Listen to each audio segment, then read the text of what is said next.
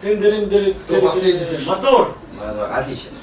Вот, я, я, Я мы тут проебали да. две минуты, Да. подожди. Мы сейчас хотели сказать, да. А ты, а, ты типа, да, ты допил Да, да, первый я стакан. как бы допил, да. Да, а теперь сразу второй. Давай, второй теперь стакан. А, ты Второй думаешь, прям сразу? Ну, да? конечно, то да. Есть, то есть все должны увидеть, что, э, Что мы все а, э, Коробейников алкоголик, жрет текилу просто. Это как, знаешь, Лена Преснякова мне однажды сказала, представляешь? Я ее обожаю, Я тоже я обожаю. вообще. А когда если бы ты знал, как она меня обожает. О, а, шучу. А, Она сказала, говорит, Вову, говорит, вообще уникальный. Он же не пьет. Я говорю, конечно. Она говорит, он может стакан взять, говорит, и с этим стаканом весь вечер ходить. Ну все, все его снимают с этим стаканом, ощущение, что он алкоголик, блин. Я говорю, да, это удивительное э, Качество. качество человека попадать в кадр. блин. Да. Это знаешь, я, а, однажды я работал в одной конторе, очень смешной. Дядя Коля Дроздов пришел, такой стоял, стоял, разговаривал, всем было похуй, что он разговаривал. Потом, значит, резко он берет стакан с шампанским и штук 10 камер, как будто, знаешь, это лев ебет львицу, бля. Опа, сразу не пропустить момент. Он такой, взял, поставил на стол. Это было еще смешнее, они точно так же рассосались. Как духи, знаешь, в каком-то раз. Не, ну, я тебе могу сказать, что то, что касается вот прессы, да, и вообще вот этой вот, вот, вот всей этой херни, возни этой, это, честно говоря, меня вообще поражает на самом-то деле. Я думаю, неужели это интересно? Ну, вот, вот я не понимаю вот это. Вот, вот мне объясни, пожалуйста, насколько Я тебе могу объяснить. Рассказывай. Я не понимаю. Значит, а, данный вид связи, которым вы сейчас пользуетесь, включив ваши замечательные компьютеры, ноутбуки и мобильные телефоны, включает в себя только две опции. Это реалити и желание всех сторон, присутствующих здесь, снимающих, желание сделать просто интересную беседу. Беседу сделать интереснее, как можно а, ближе ее, ну, скажем, э, расположить к ну, натуральной. Ну, то есть, понимаешь, да, то есть вот мы сейчас сидим, у нас ни сценарий, ни бумажек, мы с тобой не обсуждали, о чем будем говорить. Нет, абсолютно. То есть э, мы даже говорим, что если вы хотите, Мы даже не знали, будет ли захотите, здесь, вот да, не будет. вы можете она- положить ее здесь, если не хотите, пусть она лежит здесь. Ну, Да. к примеру. То есть это говорит о том, что мы снимаем реалити, мы снимаем историю. Мгм. Мы не снимаем напыщенные кадры, их вполне в жизни хватает. Но есть другая сторона медали. Молчать, блядь. Есть другая сторона медали, которая называется люди. И одни люди. И одни люди, блядь, думают, что другим людям это интересно, блядь. И этим людям, блядь, оказывается, это интересно только потому, что, блядь, им больше нечего смотреть, блядь. У них нет альтернативы, как в нашем канале Старшего ТВ. блядь. У нас угорает режиссер, он не, ку- не- не курит а, траву, и он не бухал сегодня, дошел за Да, рулем. не он угорает, он, потому что ему безумно нравится наше шоу. Наше шоу, потому что если бы камера повернулась туда, они бы увидели, что в нем пропал актер, который сыграл однажды Буратино. И нос у него длинный до сих пор, только для того, чтобы, блядь, нажимать кнопку Shift, блядь, потому что другой рукой крутит камеру.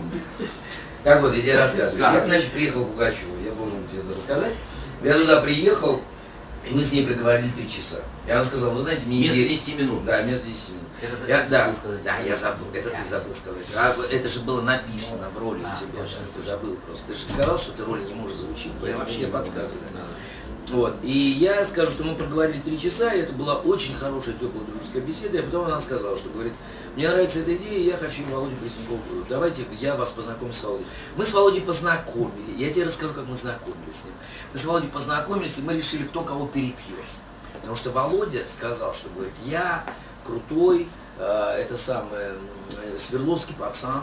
Я не я, я перепью. Я говорю, а я сибиряк. Я говорю, я вообще говорю, пью с 9 лет, а курю с 7. Понимаешь, поэтому я говорю, кто там? Он говорит, а я там тут. Я говорю, ну хорошо, давай. И мы с ним набрали коньячищу, там гору. И вот так ставили стаканы, здесь сидели у нас судьи. И мы наливали, значит, нам наливали по стаканам, и так вот без закуси совершенно просто вливали в себя по стакану до дна. И потом... Антифризу. Ну, в общем, да. Э, Коньяк, коньяк, э, коньяк, по-моему, праздничный. Праздничный, да, называется. Вот это, который вот такой кремлевский коньяк, правильный совершенно наш. Советский, но очень правильный. По-моему, праздничный, советский, я сейчас помню. 2011 год. Нет, ну это тогда было. А в тогда 93 был- году. 93. да. А тогда вот праздничный коньяк очень котировался. Еще из закромов. Да, из закромов.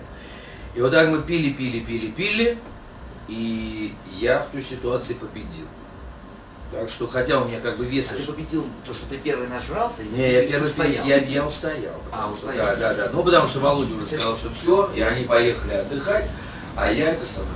Я просто думаю, человек сидит вообще не смотрит. И в этот момент, слышишь, и самое интересное, она такая, пиу по голове какую-нибудь, и мы нахуй свалились, она такая, а теперь о главном. В Москве плюс 2-3 ночи заморозки, возможно, гололедица. А в деревне Гадюкина А в деревне Га- Гадюк, Гадюкина... Гадюки, блядь. В деревне Гадюки на Гадюке, блядь. Поют Слушай, мне, знаешь, вот как бы а, сейчас очень дико нравится все, потому что мы с тобой нагрелись уже. Ну, э, Как это, как а, гонщики Формулы-1 погрелись.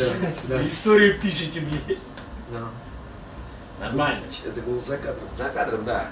А ты знаешь, что если муза в кадре, то кто за кадром? Грибочки, блядь. Очень вкусно. Вот так вот. Но вы удивительно, это как прям по сценарию, да? То есть Да, кто-то ну, а мне написано, подать салфетку. Как тебе написано? Ну как ну вот Потому здесь. что где-то читаешь в каком-то месте, где я не вижу, что написано, другом измерении. Знаешь, вот а, э, вся история съемок а, проекта происходит всегда за кадром, да? Да. Сколько раз я куда бы ни приезжал, там, а, там, ну, будем говорить честно, там есть у меня люди, которые снимаются в кино. Сколько бы я ни приезжал на съемочную площадку, кроме, значит, либо вот это в кресле утопленное тело режиссера, которому вообще уже либо, либо все идет как надо, или он уже пятые сутки не спит, вот что-то такое. Либо это происходит, знаешь, такой экспресс-метод Илона Давыдова, блядь, по изучению русского нормативного языка. То есть человек то есть он помимо того, что орет матом, он еще думает, блядь, доходчиво, не доходчиво, что-то не звучу там или еще что-то. То есть вот это все. Почему кино, несмотря на то, что вот, понимаешь, надо снимать не то, что в кадре, а надо, чтобы те актеры, которые были в кадре, снимали то, что за кадром. Это было бы интересно, да, смешнее. Да, вот, а, предположим, у каждого режиссера есть свои какие-то определенные, да, а, стопроцентные методы воздействия на мозг, блядь, и его составляющие человека. Вот э, у тебя есть такие выражения, ну, которые сто процентов работают, даже если ты, ну, предположим, пришел в палатку, там попросил шоколадку, блядь, нормально, я говорю, «Ой, а тебе дали шоколадку немножко надуманную, ты говоришь так, ничего, что она, блядь, это, а мне девушки ее, она говорит, написано Аленка, Аленка так по голову немного гнется. Он говорит, ну она же внутри сверху же не видно. А ты говоришь, ну ты все равно как бы замени. Он говорит, я тебе ничего не буду менять, потому что я тебе дал нормальную, это ты сломал. Ну, ты хочешь, есть ты понимаешь, ты что хочешь это услышать? Хочу услышать, да, ну ты как бы, я понимаю, с одной стороны, ты такой ну, отходишь такой, это случай был из жизни, достает такой чеку, выдергиваешь, ну тогда лови, блядь. Убегаешь и такой немножко гриль, блядь. Со всеми вытекающими последствиями, да, то есть ты уже так красивый взрыв. Ну, ну, ну, ну, наверное, скорее всего, да. Второй вариант это по мне, потому, ну, может быть, в голове, конечно. И тут есть же режиссеры, которые Не, не, я, я тихо говорят специально, чтобы, блядь, их слушали. Нет, я не говорю тихо. Там даже дизель-генератор Не, работает тише у этих людей. Нет? Я, я ору на площадке. Я сразу, я могу сказать. У меня первый съемочный день, первый Понятно. репетици- репетиционный день. Я собираю всю съемочную группу Да. и говорю. Ну ты, вот я же вообще похож на очень доброго старичка. Ты посмотри на меня, да, такой вот лысенький такой дядька, очень обаятельный, да. И люди не могут катастрофически поверить, что я могу орать, топать ногами, бить, э, Пиздить. блядь, вот так вот, да. А у меня, а я бешеный совершенно, потому что я Бешеный. бешеный, да. Я говорю им, вы знаете, я собираюсь в съемочную группу, я говорю, я приношу свои глубочайшие извинения, потому что завтра вы выйдете на съемочную площадку, во-первых, я дико матерюсь, я дико матерюсь. Я говорю, вы понимаете, дело в том, что съемочный процесс это как сло- сложное для меня, для меня, по крайней мере, это точно, особенно если ты снимаешь что-то, я говорю, это как э, операция на сердце, ну нельзя, блядь, сказать, э, медсестре, будьте любезны, Нина Павловна, подайте мне, пожалуйста, скальпель номер 3 и ватку номер 8, понимаешь, там, или тампон номер 8, там, как это у них называется, да, там говорят быстро, там, та, там, та, и, и люди обижаться начинают, они думают, что это я лично к ним так отношусь, я говорю, ничего вообще лишнего нет. И личного Ли- числе. да, ли- ли- личного, да, нет, я говорю, я после этого самого, я, я говорю, после каждого съемочного дня готов целовать вам э, руки, Песок, на да, который да, на который вы сходили. Но при всем при этом я говорю, вы понимаете, но во время процесса, да, я разговариваю так, как удобно мне, и, ка- и- я скажу, но, к сожалению, очень, Возможно, большому сожалению, ветра. да, да, да, да, усиление ветра. Я скажу так, что, к сожалению, самым, вот мной проверено, самым большим стимулятором в процессе в творческом является русский мат. Ничего личного, реклама. Ничего.